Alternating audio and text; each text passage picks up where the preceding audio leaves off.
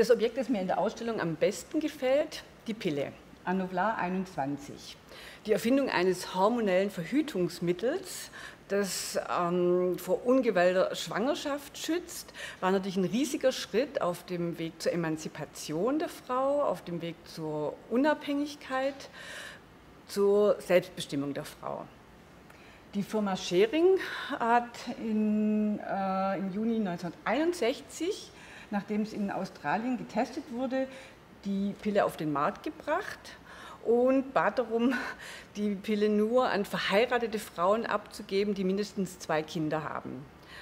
Es wurde gefürchtet, dass eine Gefahr besteht für die Sittlichkeit, wenn man das an unverheiratete Frauen abgibt. Und es wurde ein massiver Rückgang der Geburten befürchtet. In unserer Ausstellung wird der Wandel der Sexualmoral beleuchtet. Ähm, die Rolle der Frau wird nochmal ähm, beleuchtet. Deshalb darf natürlich die Pille als Erfindung nicht fehlen.